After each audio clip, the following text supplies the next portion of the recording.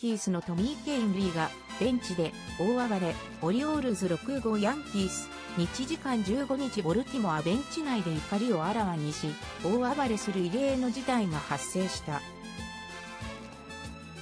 ヤンキースのトミー・ケインリー投手が14日、日本時間15日の敵地、オリオールズ戦で、同点の5回に2番手で登板。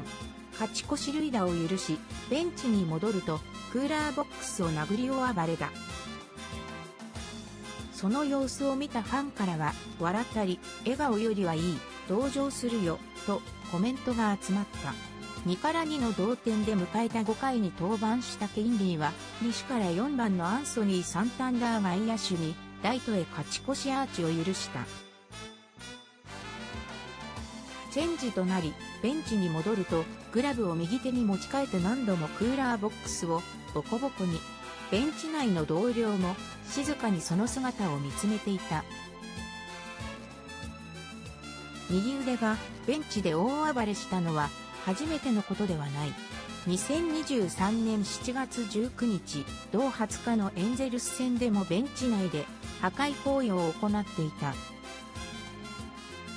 リリーフ登板も不運な当たりで失点を許したことに怒りが抑えられなかったのか、ベンチで帽子を投げつけ、倒れた扇風機を踏みつけて完全に破壊。その光景はファンに衝撃を与えた。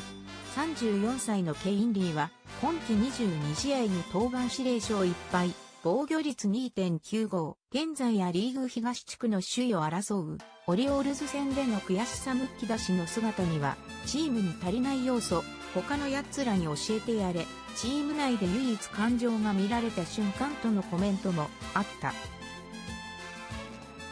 フルカウント編集部、